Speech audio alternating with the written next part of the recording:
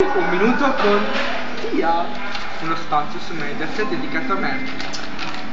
Allora, una delle regole è mangia un po' di tutto, non farti mai mancare nulla, almeno due porzioni di ortaggi e tre di frutta al giorno ti aiuteranno a vivere una vita più serena.